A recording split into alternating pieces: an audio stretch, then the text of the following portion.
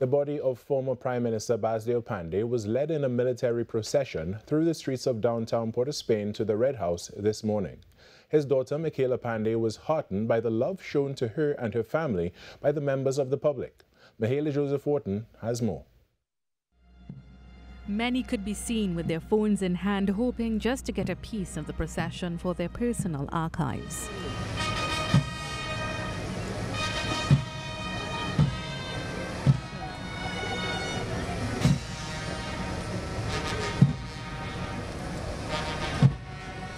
The procession began at 8.45 a.m. from Broadway, Port of Spain, then on to Independence Square South, proceeding west to Abercrombie Street and north to the Red House.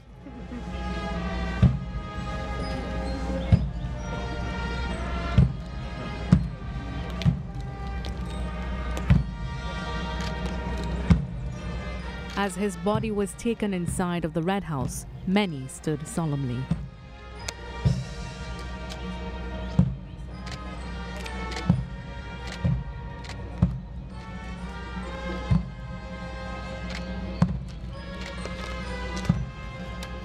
Speaking to the media after viewing her father's body as it lay in state, Mr. Panday's daughter, attorney at law Mickela Panday, said her father received the recognition he deserved while he was alive and continues to receive even more in his death.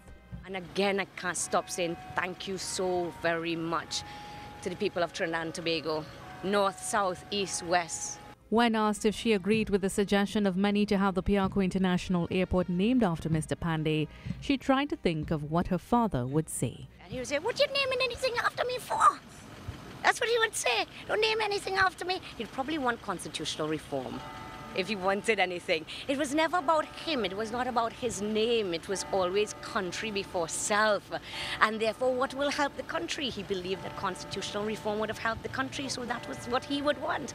Um, so that, I, I'm echoing his sentiments as I feel he would have said. She, however, commended the Sanatan Dharma Mahasabha for making the decision to rename the Shiva Boys Hindu College in Mr. Panday's honor. It's great if it will inspire the youth because he was he was interested in the youth and he loved the youth of this nation. He believed the youth were the future of this nation. He believes that education was the way out of poverty and how you can change your life and have control of your life. So it's a wonderful honor and we're very grateful and I thank them on his behalf. Ms. Panday said she and her family are coping well. I'm struggling a little bit, a little bit, but we have had love and support. So thank you. She'll get there one step at a time. As she and her family exited the Red House, she greeted all of those waiting to pay their respects with a hug and a thank you. You okay? Yeah. In this hot sun for, for dad? Oh. Here's your favorite? It's my favorite. You know how happy you make me feel. Yes, accept my sympathy. Thank you. Thank you, thank you, thank you, thank you, thank you on behalf of my papa. Thank you. He loves your. My condolences. I'm so strong, you're making me feel. Mayor of Port of Spain, Chinua Alleyne, said Mr. Panday was a man who dedicated his life to service. It was important to me to take the opportunity today to visit the Rotunda of the Parliament to pay my respects uh, not only on my own behalf, but on behalf of the people of uh, the citizens of Port of Spain. Uh, we want to wish God's richest blessings on his family, uh, wish that they could have all of the comfort at this time. We know that the national community is supporting them. Among those paying respects to Mr. Panday was President Christine Kangaloo and her husband, Kerwin Garcia, Minister of Foreign and CARICOM Affairs, Amery Browne, and former Government Minister Carlos John. On Monday, January 8, 2024, Mr. Panday's body will lie in honor at the Southern Academy for the Performing Arts from 9 a.m. to 5.30 p.m. Mahalia Joseph Wharton, TTT News. The United National Congress will get together as a party to decide on ways in which to honor the party's founding father, former Prime Minister Basdeo Panday.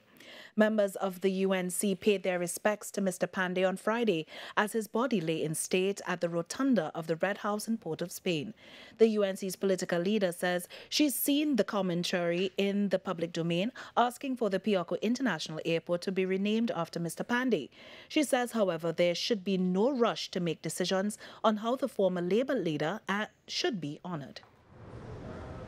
I think none of us should run to say, do this and do that, without first getting the say-so and the permission of the family. I think it's very important for the family. And today I, I, I welcome the decision of the family for the state funeral to be held in South. As you know, Mr. Panday was a son of the soil of the Southland, educated, born, grew in South. So I welcome that. This will be the first time, in fact, we will have a state funeral taking place in South. And of course, the first ever under Hindu rites.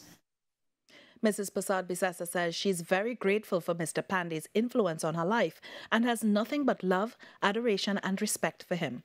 Yet she admits they did not part ways on the best of terms when she took over the helm of the UNC.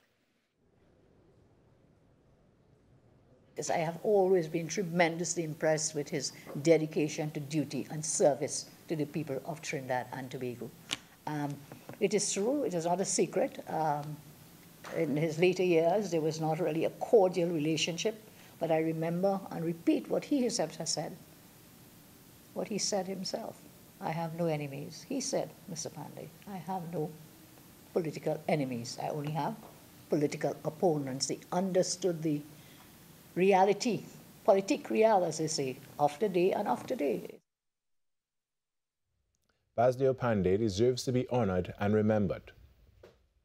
This from Chief Secretary Farley Augustine as he extended condolences to the family of Trinidad and Tobago's fifth Prime Minister during a press briefing held earlier this week.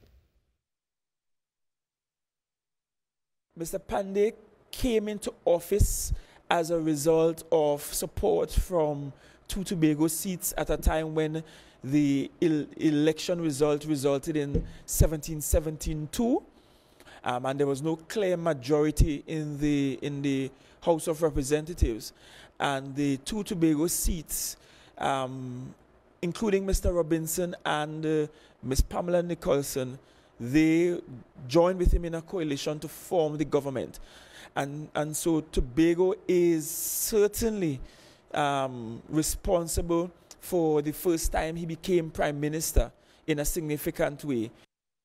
Chief Secretary Augustine said the THA also plans to remember Mr. Panday. Certainly when they have given of themselves for a period such as extensive as Mr. Panday did, for such a long period of time, um, certainly the country deserves to stop and pay attention and give honor where honor is due. And so, like the rest of the country, uh, we are also flying our flags at half-mast. A condolence book has been opened at the Assembly Legislature for Mr. Basdeo Panday.